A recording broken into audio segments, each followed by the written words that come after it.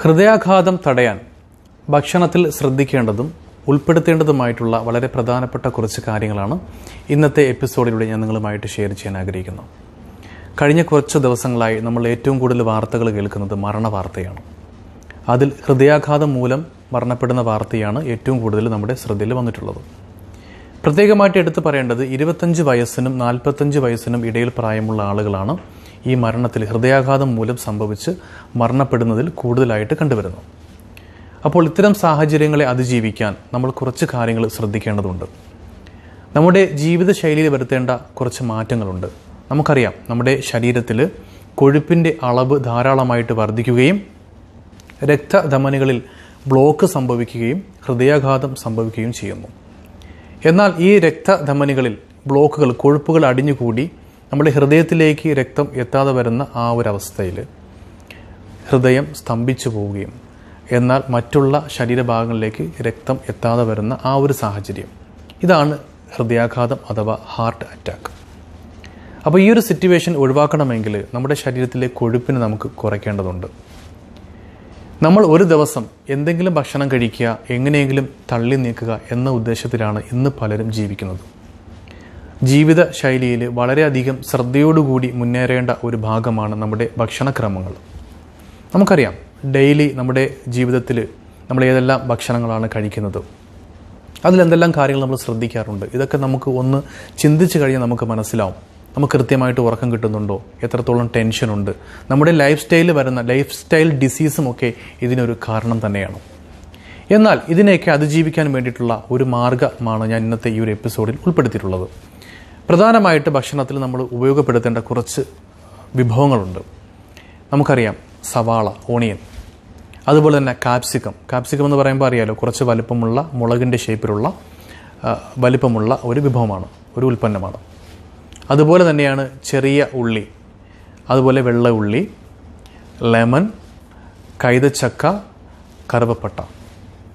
Okay? ഇത്രയും വിഭവങ്ങൾ നമ്മുടെ ഭക്ഷണത്തിൽ കൂടുതലായിട്ട് ഉപയോഗപ്പെടുത്താൻ നമ്മൾ പ്രത്യേകം ശ്രദ്ധിക്കുക. നമ്മൾ സവാള എന്ന് പറയുമ്പോൾ നമുക്ക് ഒരു ദിവസം നമ്മൾ ഭക്ഷണം കഴിക്കുന്നതിന്റെ കൂടെ സാൾഡിൽ സാൾഡ് ഐറ്റംസ് ആയിട്ട് നമുക്ക് ഉപയോഗിക്കാം. സവാളയും ഈ പറഞ്ഞ കാപ്സിക്കം കുറച്ച് വലിപ്പമുള്ള മുളക് ഷേപ്പിലുള്ളതും അതുപോലെ തന്നെ അതിൽ കുറച്ച് നാരങ്ങ നീരൊക്കെ പിഴിഞ്ഞൊഴിച്ച് കുറച്ച് ഉപ്പ് ഇട്ടിട്ട് നമുക്ക് സാലഡായിട്ട് നമുക്ക് ഉപയോഗിക്കാം. നമുക്ക് ഉച്ചയ്ക്ക് ലഞ്ച് ടൈമിലൊക്കെ ഭക്ഷണത്തിന്റെ കൂടെ നമുക്ക് കഴിക്കാം. സർവസാധാരണമായിട്ട് നമുക്കറിയാം സവാള നമ്മൾ കറി വിഭവങ്ങളൊക്കെ ഉണ്ടാക്കുന്ന സമയത്ത് അതിൽ കൂടുതലായിട്ട് ഉപയോഗപ്പെടുത്താറുണ്ട്. എന്നാൽ നമ്മൾ ഇതിനെ പ്രത്യേകമായിട്ട് സാലഡിൽ ഉൾപ്പെടുത്തണമെന്ന് പറയാൻ കാരണം ഇത് നമ്മുടെ ശരീരത്തിലേക്ക് ചെല്ലുമ്പോൾ ഇത് ആന്റി ഓക്സിഡന്റ് ആയിട്ടും ആന്റി ഇൻഫ്ലമേറ്ററി ആയിട്ടും വൈറ്റമിൻ സിയും ഒക്കെ അടങ്ങിയിട്ടുള്ളത് കൊണ്ട് തന്നെ നമ്മുടെ ശരീരത്തിലെ കൊഴുപ്പിനെ പെട്ടെന്ന് അതിനെ ശമിപ്പിക്കാൻ ഈ സവാളയ്ക്ക് വളരെയധികം സഹായിക്കും. അതുപോലെ തന്നെയാണ് നേരത്തെ സൂചിപ്പിച്ച നമ്മുടെ നാരങ്ങയും. ഓക്കെ അപ്പോൾ ഇതൊക്കെ നമ്മുടെ ശരീരത്തിൽ ഉൾപ്പെടുമ്പോൾ ഉൾപ്പെടുത്തുമ്പോൾ കൂടുതലായിട്ട് നമ്മുടെ ശരീരത്തിലേക്ക് നമ്മുടെ ഭക്ഷണത്തിൽ ഉപയോഗപ്പെടുത്തുമ്പോൾ നമ്മുടെ ശരീരത്തിൽ കൂടി വരുന്ന ഈ ട്രൈഗ്ലിസറൈഡ് പോലെയുള്ള കൊഴുപ്പിന്റെ അളവിനെ കുറയ്ക്കാനും നമുക്ക് ഒരു പരിധിവരെ ഹൃദയാഘാതത്തെ തടയാനും നമുക്ക് സാധിക്കും. അതിനുവേണ്ടി വളരെ പ്രിവെന്റീവായിട്ട് ചെയ്യേണ്ട ഒരു മാർഗമാണ് ഈ പറഞ്ഞ ഉൽപ്പന്നങ്ങൾ. ഒന്നുകൂടി ഞാൻ റിപ്പീറ്റ് ചെയ്യാം. സവാള കാപ്സിക്കം അതുപോലെ തന്നെയാണ് സിന്നമൻ കറുവപ്പെട്ട ചെറിയ ഉള്ളി വെള്ള ഉള്ളി. ഓക്കെ? അതുപോലെ തന്നെയാണ് കൈതച്ചക്ക അഥവാ പൈനാപ്പിൾ. ഇത്രയും വിഭവങ്ങൾ നമ്മൾ നിർബന്ധമായിട്ടും നമ്മൾ ഭക്ഷണത്തിൽ ഉപയോഗപ്പെടുത്തണം. പ്രത്യേകമായിട്ട് എടുത്തു പറയേണ്ടത് ആഴ്ചയിൽ ഒന്നോ രണ്ടോ ദിവസമെങ്കിലും നമ്മൾ എന്ത് ചെയ്യുക? കൈതച്ചക്കയുടെ ജ്യൂസ് പൈനാപ്പിൾ ജ്യൂസ് കഴിക്കാൻ ശ്രദ്ധിക്കുക.